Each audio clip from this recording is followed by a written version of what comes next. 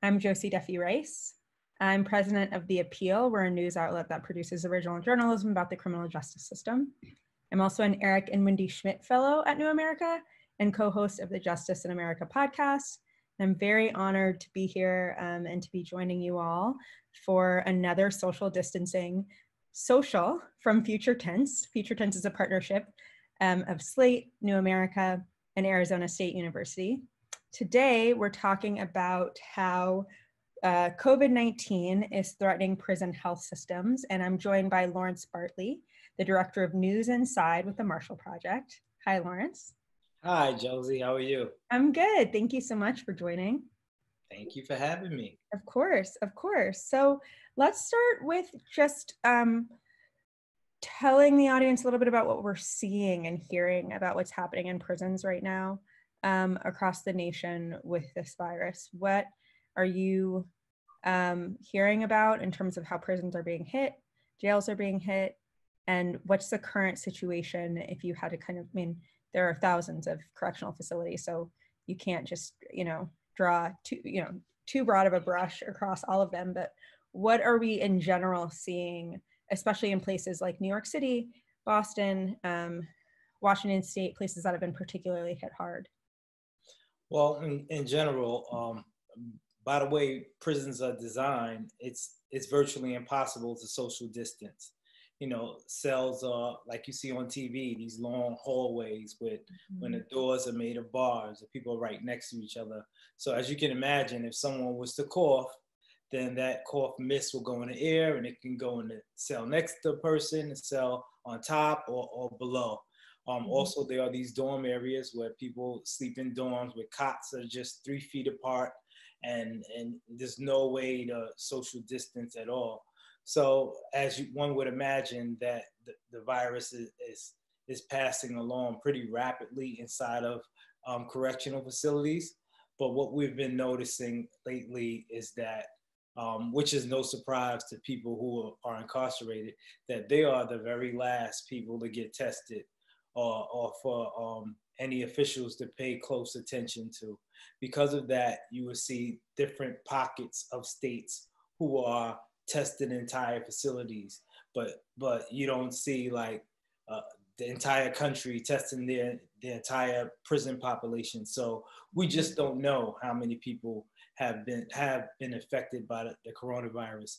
Last count, we just studied that we done at the Marshall Project, we found that 9,437 people has tested positive for the coronavirus, and that number is rising. The trend is going up, just as on the outside the curve is being flattened.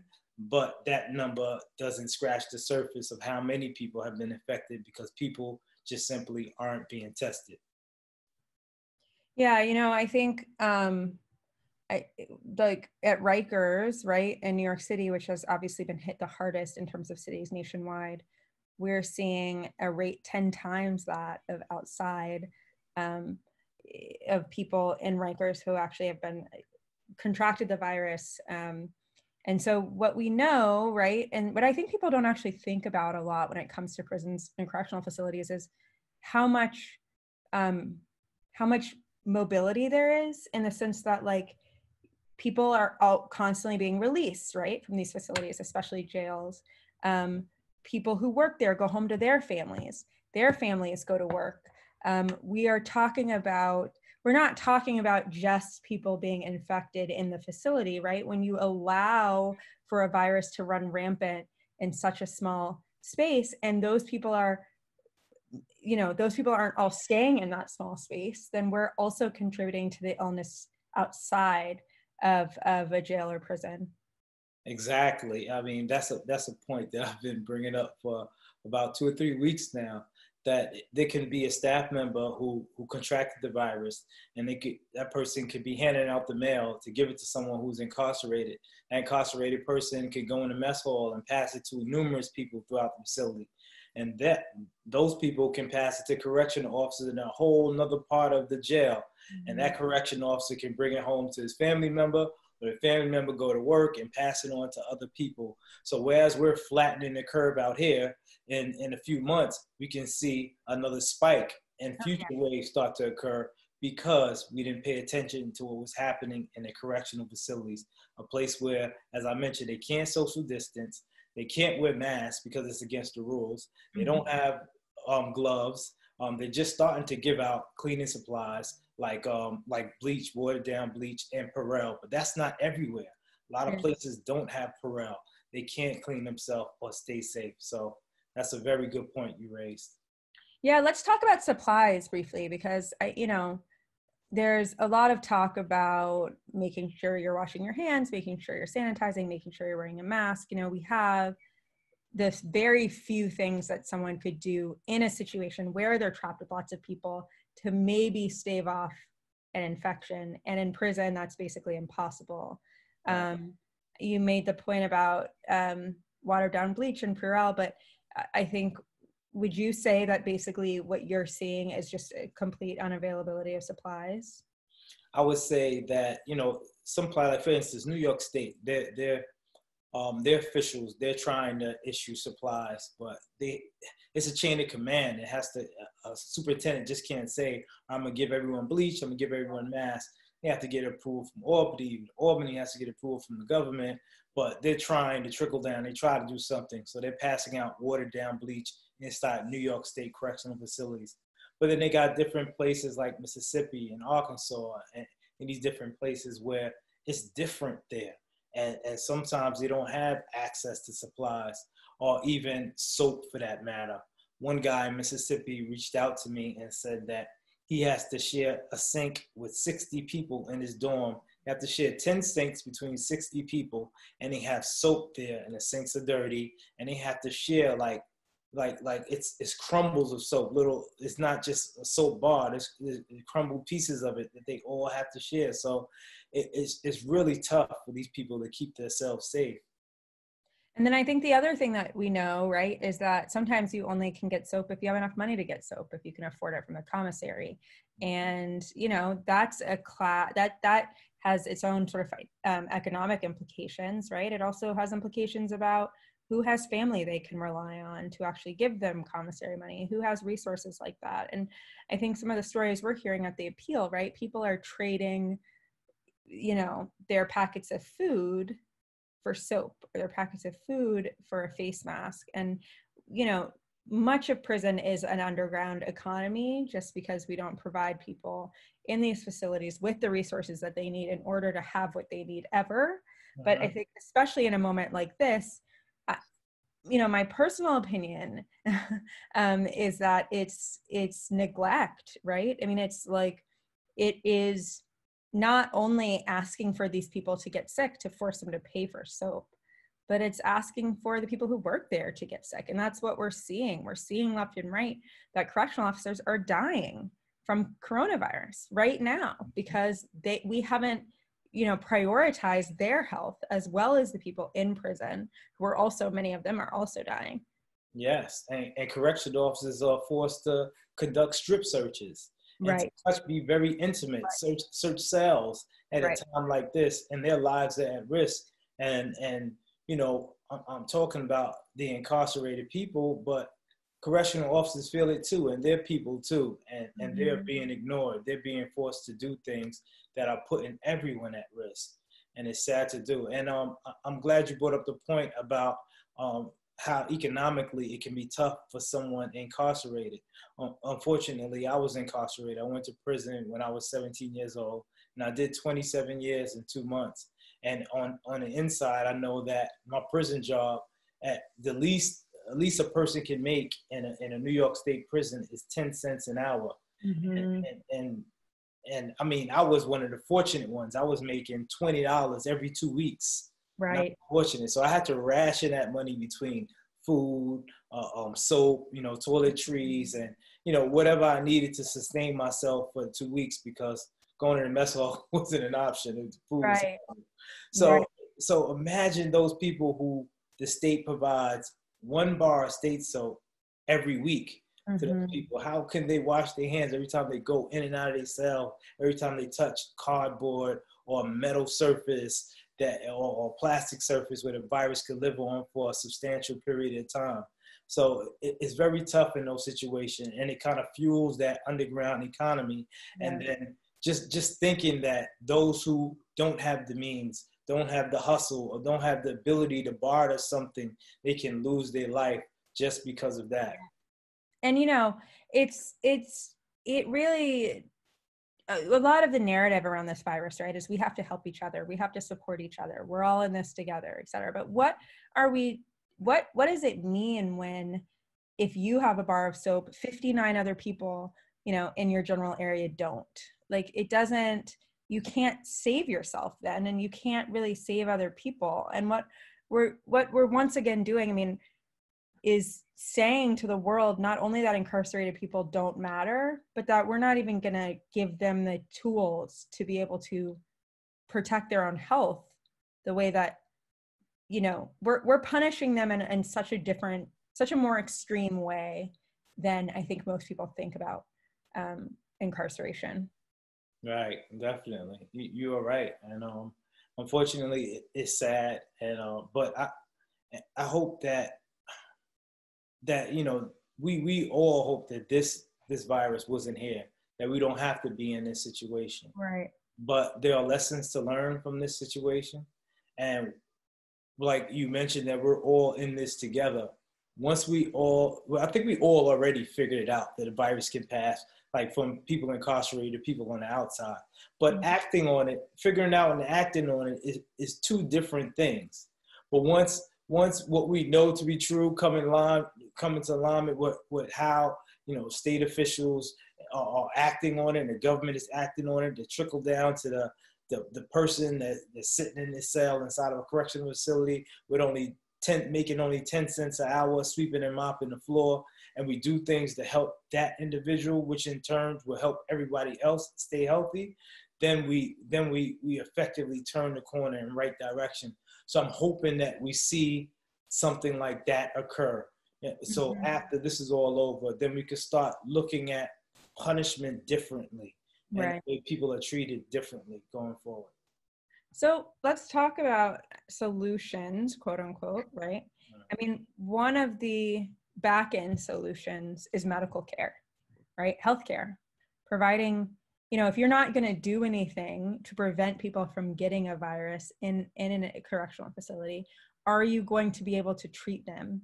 And that's something i don't actually think that we talk you know that the world talks enough about or or the political structures talk enough about which is how poor the healthcare system is in correctional facilities. I mean how just the i mean even i mean there are some really really incredible doctors who work in this this system. So it's not to say that each individual in it is is poor but they're not given the supplies the time and and the resources that they need to be able to provide health care to those who are struggling the most.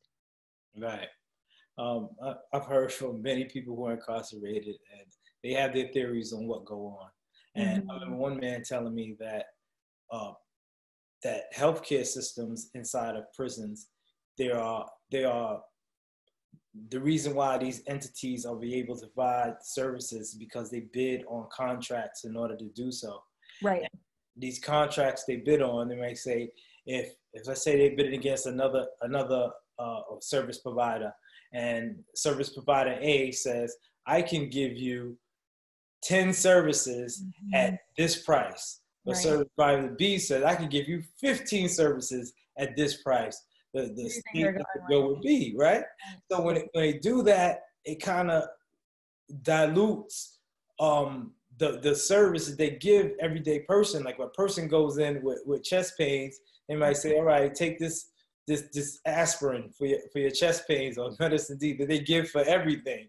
They have a, a, person who's been incarcerated for a long time. They know that it's just one medication that they give for almost everything. everything so right. like yo, so Imagine you pay for that, right? I right. Mean, some yeah. some states make you pay for it, but other right. they so i have seen bills that they want to do copay for people who are uh, poor for to begin with to go to prison and their families are impoverished. So it's like it's like crazy. But right. even if it isn't any copay, it's just real tough on people. So imagine you just ex- exacerbate an already stressed healthcare system. It might be some great doctors that you mentioned, but they have limited resources and they have to follow the culture of how they handle their incarcerated patients in order to maintain their jobs. And then it's exacerbated by this COVID 19 crisis, then you have a lot of bodies piling up as a result. Yep, I think that's, I mean, what you hear about the expect, this sort of um, expectations of people in the medical industry in correctional facilities, it's, you know, how much can we get for how little money, which is not, you know, it's funny in an era where it's like, you can keep your health care if you if you want to right? Like what we know is that um, in correctional facilities you have no choice about who provides you medical care what they provide and whether they're willing to listen to you. And we keep hearing stories at the appeal of people saying well i went in and i said there was one out of louisiana of a man who said i think i have coronavirus. And louisiana prisons are being hit horribly right now just really really rough. Yes. i have coronavirus i think i have covid-19 and he got first of all beaten by like sheriff's deputies in jail for for asking for help. And then once you get help if they say we're not going to treat you for this you don't have any recourse. You don't have any option right?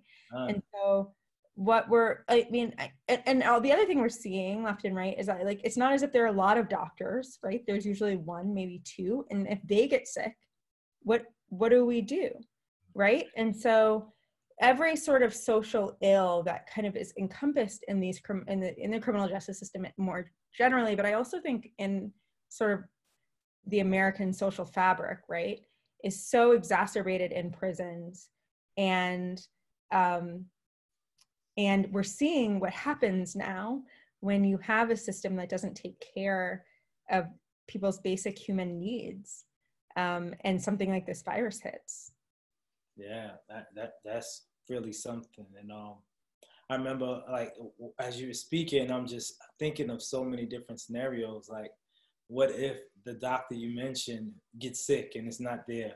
Then right. what the facility has to do is they they they usually have a contract with the the closest medical facility next to them. Mm-hmm. So they put you in an ambulance and try to send you there. We wrote a story or uh, incarcerated or uh, coming to a with COVID nineteen coming to a ICU near you. Mm-hmm. So you send an incarcerated person to a, a, local hospital area to be treated, but then there's people in the hospital, people in the community that don't want you there. Right. we don't want this incarcerated person there. Mm-hmm. Now I understand the logic. Some people who are incarcerated did some horrible things, but I also know that I've been there for, for many years, for like 20, over 20 years and there's some people that I know that that I've spent more time with than I spent with my own parents, mm-hmm. and, and they became like family members to me. And some of those people have done a 180 from what they were. Some of them were into drugs and they did some horrible things, and they're just so embarrassed by the things that they've done. And and when when they see on the news um, parolees are vilified, they, they're just so hurt because that's not who they see themselves as being. Right. You know, 95% of those people are getting out and they just want to be, they want to live. And some parts of them want to be accepted. But when they don't even have a chance to, to start from go, like go being, being released because uh, um, the community or, or, or government or, or, people at large um, don't feel that they should be treated for COVID-19 because it's because they are less worthy or because it's taking away resources from someone else. Whatever the reasons are, it results in the death of somebody who's mm-hmm. like, man, I just want a chance to redeem myself. And what we're doing is we're sentencing people to death, right? Just by function of them being in prison right now. I mean, we, you know, you meet a lot of people who say, okay, I don't believe in the death penalty, but I do believe in, you know, people going away, which is, I mean, prerogative. I, I understand that. But you know what we're doing is sentencing people to death and you can you know you can assume that if a prison is or a jail is actually transporting someone to the hospital they're in rough shape right? They're not transporting you to the hospital for a cold. They're not transporting you into the hospital until you're in really really bad shape because we don't prioritize those people. So we know that this fear of well they're going to come into the icu and they're going to they're dangerous. They're not dangerous in a moment of being you know w- you know trying to hope that they live through a virus any more than anybody else is dangerous in a moment where they're hoping they live for, through a virus. But right. you know, you made you, you brought something up about 95% of people getting out. And it reminds me that um, a lot of people in prison are really elderly. We have we have spent 30 years sentencing people to these excessively long sentences. And what does that mean now? It means we have people in prison, tons and t- thousands and thousands, and thousands of people in prison who, you know, have been in prison for 30 years. I think you were you you served 27 years, right? Yes. You know, we're talking about 50s, 60s, 70s, 70 year old people um, who are sitting in prison cells right now and we know that's at, who's at most risk of the virus. I, I, thought you, I'd love to hear you talk a little bit about the elderly populations in prison because I don't think that's how most people picture prisons, right? And whenever um, I go, I take someone to a correctional facility for the first time. That's I feel like that's the first thing I always say is I didn't realize there were so many old people in yeah. in in prison. There are there are a lot of old people. Um, when you when you talk about elderly, it remind me of this this guy named Coty that I know. He mm-hmm. was he was old. He'd been in prison for a very long time, over thirty or maybe forty years.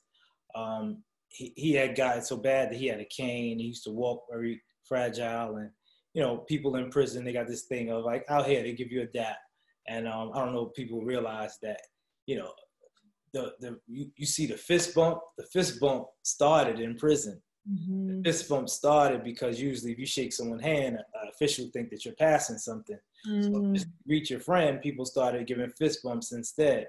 So it was this old man named Coty on on on the cane. I saw him in the hallway and I wanted to give him a fist bump, but I had to go down to like where his hand was holding the cane to kind of bump his fist, and I almost knocked him over because he was so frail. And and I and I remember feeling just so messed up that I almost did that to him and and to know that there's so many other people like that who right. are frail and they might be they because they they at the end of their life they, they experience the body starts to break down in so many different ways and then for for covid-19 to hit those people basically don't have a chance even right. the medical prison facilities that they go to you're still piled on top of each other we just did a story about one in California, about Abbie VanSickle. She she penned a story about it with a lot of different photos. It's just horrible, a horrible looking cluttered situation, and it's tough. And you know, the thing is, I think what makes it especially just unjust to me is the fact that these are people who their chances of um, committing another, I mean, crime at all, much less a serious crime, what we would consider to be a serious crime, is close to nil.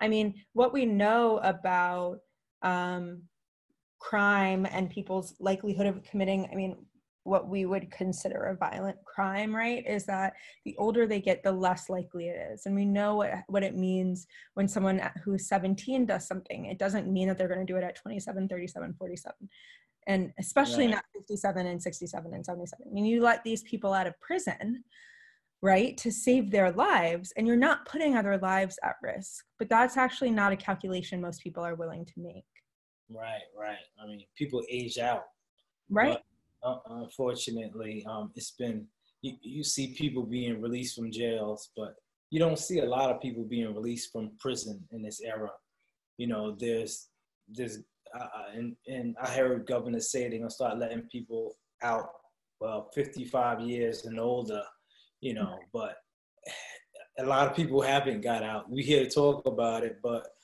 if you do the research, a lot of people haven't got out. But you have right. countries, Iran, that let out 85,000 prisoners. Right. You know? so, right. I'm just reminding people to please submit questions if you want. We'll start asking them in just a second if we um, get any in. Um, you can do it at the Q&A button at the bottom. But I, I wanted to talk about mass release because um, it's traditionally been the third rail, I think, in political decisions. And I think even in a moment like this, where what we know is if you don't let people out, they're going to get sick. If people get sick, many of them are going to die. In part because we have not we have not allowed people in prison to take care of themselves provide you know quality health care to make sure that they're healthy to be able to survive a virus like this mm-hmm. um, are we i know that we're hearing talk about people say well we're going to let people out and there you know some people are doing that would you say that that's something you're seeing widespread um, i hear talk widespread but i don't see a lot of people getting out right exactly i, I mean you know uh, the BOP, the um, Bureau of Prisons, which is the federal prison system, they say they're going to let a lot of people out. But when we look, we did a little research into the numbers. They haven't let a lot of people out because of this. And um, I hear all the time now people saying, well, if you let them out, there's not any resources out here where they're going to go. People need shelters. And to the person on the inside that's trying to get out, and they finally talk about letting out. Then they want another excuse. Oh, shelters, no resources for you. The person's like, man, just let me out of here. Right. right. I have a better chance faring out there where there's more space. I could go to the store to buy Purell, Clorox, sanitary wipes, gloves, a mask. I can do that. Well, I can't do that in prison. So let the person out in order to let that person save his or her life. And um and in the country as a whole, the the crime rate has been going down. There's a lot of fear that you let people out, they're going to commit more crimes, et cetera, et cetera. But we, we don't know that. But it'd be interesting to see what happens if they let people out and, and, and the crime rate doesn't spike. Then, then what happened? Does that mean we had this mass incarceration thing all wrong? Right. Uh, what's going to play out in the next couple of months is going to be super interesting for numerous reasons. And look i think i mean I, I, someone actually asked the question if prisoners at that age get out how can they survive? They may not have housing much less a job and can they get support from the pandemic relief fund? I think you know these are important questions. How do we provide for people who have been in prison 30 40 50 years? And in my experience my clients who um, have been like for example up for parole like that has been their biggest obstacle, right, is like parole boards saying, okay, well, we don't think you're a risk, but what are you going to do now? You've been in prison forever, right? Um, but what we know, I think, is what you're saying, A, that they might not have resources. I mean, there are resources in a lot of places for people who are returning from prison. So, um, depending on where you are, what you have, they, but let's even assume worst case scenario, right? They may not have resources. It's better than being in, you know, in the middle of what is basically uh, sure to be a fire starter situation. Right. Right. And but to answer the question about pandemic relief fund, no, we've the the the federal pandemic relief fund has pretty much excluded anybody who's formerly incarcerated or currently incarcerated from getting those resources. And it's another way that we see us, um, we see the the the government more generally, um, but especially this federal government in particular, isolating formerly incarcerated people from opportunity. Yes. Once again. Yeah, exactly. Um, another question we're getting is about programming in prison, um, particularly educational and work training programs, and it's largely ceased. So, what's the effect of that, and what should facilities be doing to programming right now? Huh. The effect of that is tough. Uh, like I said, I hear from a lot of people who are incarcerated, and and you know, we've been sheltering in place for what six pe- six weeks now, and the same thing inside of, of prisons. People have been they're they already been isolated, but now they're further isolated. You know, programs are closed. Um, some states you could just go to gym and yard, and and it's very little lim- limited. Picture the yard being just a big outside parking lot with no cars in it. You're just walking around, no trees, no grass, no nothing. Um, so that can be pretty nerve wracking after doing that for a long period of time when a person was was used to going to the school building or or like the prison I went to, they had this theater program called Rehabilitation Through the Arts. And I found that program quite useful because, you know, for a whole entire year I had to learn how to perform uh, um, uh, theatrical, put on theatrical events on the stage, how to learn how to block, how to project right. voice, and I wore costumes, and right. and it made me feel like I was a human being. It made so many others feel like the human being. They learn themselves from from being in these programs and expressing their emotions, and to have that taken away from them at a time like this, and it's like no one to blame. And it's not like the facility is just taking it away from us. It's taken away from us in order to keep us safe, but at the same time, it still hurts you get yeah. fever. You, you even miss some of the civilians that come in that you usually interact with. Right. So so that can be super tough. So people want to know what it's going to be like when this is all over. Is everyone going to get inoculated? Then we can convene with each other, or right. is it going to be a new way of interact with one another? So how that programs is interesting it's an interesting thing I think that you point out that they've kind of shut down programming in order to keep people safe and that you know like most of us are staying home or social distancing or many people are so it's not that that's not understandable but if you really do want to keep people safe aren't you also going to then provide them with soap? I mean if you can't let people go to class um, it seems like you can make sure they have soap. So it does seem like the opportunities that are being taken from people are the opportunities that provide the most um, you know access and resource to people. Uh, on on justice in america our podcast tomorrow we're having um, doing an episode with rodney spivey jones who's incarcerated currently at fishkill correctional center in in in upstate new york. I was there just a few months ago and you know bard prison initiative their programming is in in fishkill and um, you know this is a life changing like you are expressing just life changing eh, opportunities for people who are kind of don't have access to opportunities so often. So uh, while i agree i mean and obviously you have so much personal experience with this while i agree that these programs um, taking away the ability for people to get more sick is good i feel like they should be doing more providing some hand sanitizer if you're not going to let me do the you know the the performing arts program um, feels like those two things could go hand in hand. Absolutely. Definitely. Yeah. and by the way Rod, i know rodney. He's an amazing guy. He's an so great. Yeah he's so great. I'm really like the interview was just incredible and he's really great.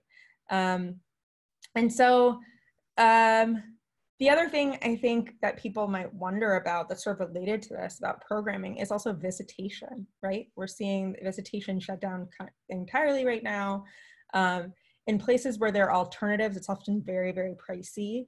Video calling, my brother um, was incarcerated and when he was, when we had to use Securus to, to video, use video calls, that's, I mean, 30 $30 every 10 minutes or something. I mean, really expensive. Mm-hmm. Um, phone calls are expensive. Any sort of communication that's not face to face, and even face to face is expensive because it takes you resources to get there, and it take you know, but like directly money out of your pocket is um, the visitation options. Could you talk a little bit about what uh, visitation looks like right now? I mean, well, visitation is non-existent right now. They right. were already uh, scarce to begin with, with, with mm-hmm. people usually when people get incarcerated, they get sent furthest away in the state, away from their family. And that would make it harder for the family to travel to visit. And so they're like in prison, just like out here, there's the haves and there's the have-nots. The people who are have got visits and right. they begin to rely on it. And those are the people who are incarcerated who usually thrive the mo- most. They have it together. They don't get in a lot of programs. They're more apt to go to college. You know, they they they they feel like they're almost whole. They're not whole all the way, but they feel their mental health is pretty stable. And to take that away from them, and you know, and once again, it's for a good reason to keep people safe, you know. But still, it has that impact on on the psyche that's that's kind of hurtful to people. And I really I thought about that as I prepared my next issue of uh, our next issue, the Marshall Project of the News Inside, because in there's a story that um, the title is a, a, family who crafts together stays together, mm-hmm. and one woman, you know, her husband was incarcerated, and it would do things like uh, eight o'clock. There's a program on TV. I'm gonna watch it at eight, and you're gonna watch it at eight. Then we're mm-hmm. gonna write each other about it. So we're watching it at the same time. We feel like we're together. Mm-hmm. And he would do cool things like during Christmas time, she would take a photograph of the ornament on a Christmas tree and mail it to him, and he would put it up on his wall on a Christmas tree that he drew. So they feel like they're connected. So wow. I'm hoping to inspire incarcerated people to do some of those similar things to kind I of stay connected. I love that. Yeah. I mean, you know, one of the things we were talking about with Rodney, because Fishkill is being hit really hard by the virus right now. And when people reached out to him and said, How are you doing? His main concern is his family, right? That's how all of us feel. Our main concern is our family and friends. I think if, if you're healthy, you're you're not without worry. Um, you know, and when you're more at risk and you can't see the people um, in any way, shape, or form that, you know, help that you want to protect i think it just exacerbates so much of the pain and and and tragedy of the situation. Yes. i love i love that i love that i can't wait to watch that that's amazing. Um, the the other um, question we got that i think is really um, really important is what does it look like after the virus? Do we think that visitation will go back to normal? Do we think programming will go back to normal? Do we think SOAP will finally have be something people can normally access? Or do we think that the powers that be will take advantage of the limit this, the limitations and kind of, you know, put them in place more permanently?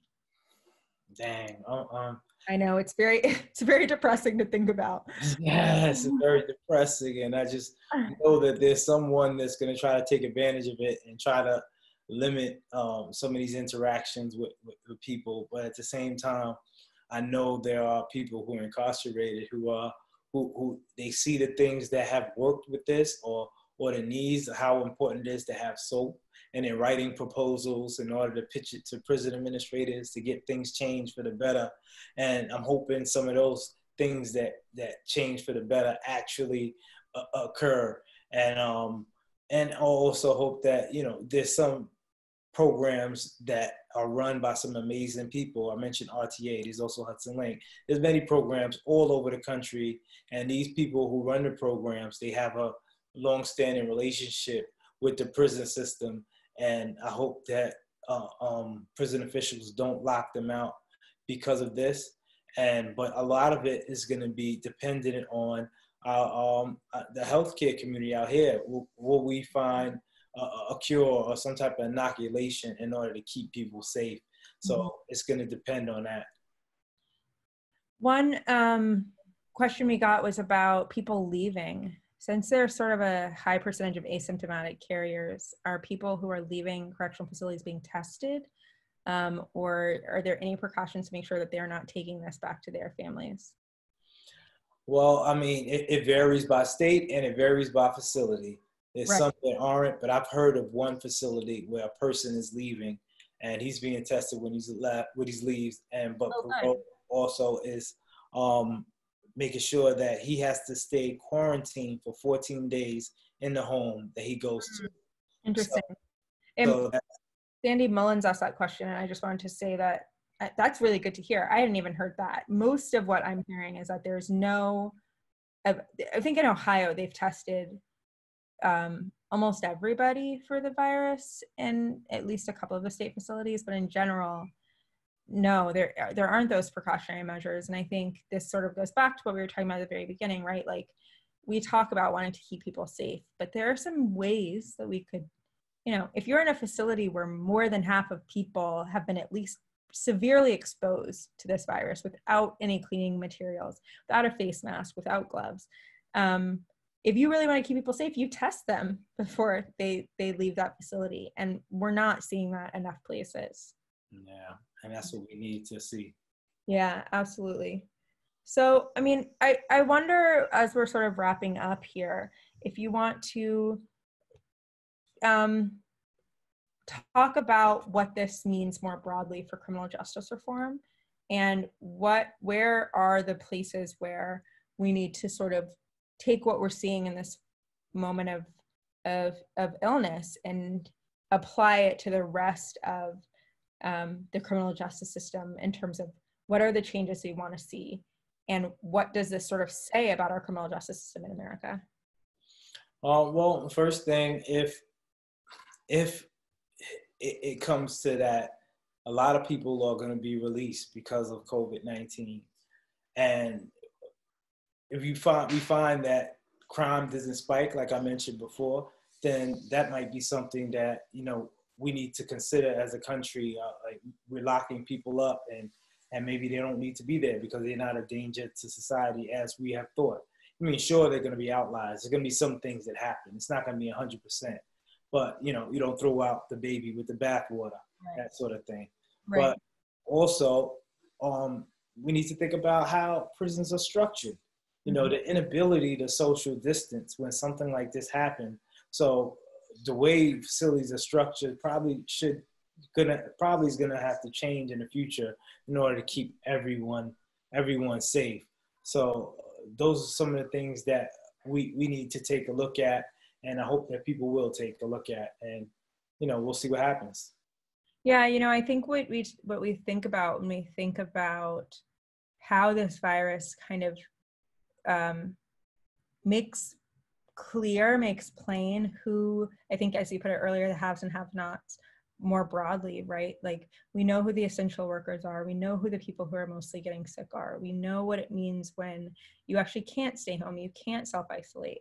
We know that poor people, people without health care, people of color, you know, these are the people who are being ravaged by this virus. I think something came out um, today that said half of New Yorkers know someone who has died from COVID 19, know of someone who has died from COVID 19.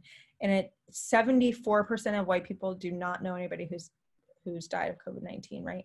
But over 50% of Black and Latino people do know someone who has died of COVID 19. You know, it's hitting um, outer boroughs much harder than it's hitting Manhattan. It's hitting poor zip codes much harder than it's hitting rich zip codes. And we're seeing, um, you know, all of those social functions are exist and then times 10 when you talk about correctional facilities. I mean, this is where the worst parts of American society are just on display constantly, unapologetically. Um, and it's, it is, I hope an opportunity, the, if there is an opportunity in this, it's to really rethink what it means to lock someone up. Do you, are you okay with sentencing someone to death? Because that is what you're doing by keeping them in prison right now. Um, in Atlanta, where I am, just yesterday, a judge said, well, you know, there are 100 and 200 people, I think, in the local jail here, and a judge who have been off, who have been granted bond, but they can't afford bond. And the judge said they're not letting them out, which means you stay in jail. You probably get coronavirus because coronavirus is already hitting the jail because you're poor, just because you're poor. That's it um, and what what are we okay being that kind of society? Is that who we want to be? That's a good question. I mean and um, i think you i think you made a, a very valid point. This is putting our culture or our country the worst parts of our country on display for all the reasons you just mentioned you know and and I wonder if people are going to stand up and do something positive about it, or people are going to use this in order to get worse. So mm. we'll see what happens. Yeah. Well, thank you so much, Lawrence, for joining us. Thank Again, you. this is Lawrence Bartley. He's the Director of News Inside with the Marshall Project. I'm Josie Duffy Rice. I am President of the Appeal and uh, Eric and Wendy Schmidt Fellow at New America. Thank you all so much for joining us. And um, tune in every uh, Tuesday and Thursday for more future tense social distancing, dense, social distancing socials. uh, thank every, thank you so much, everybody.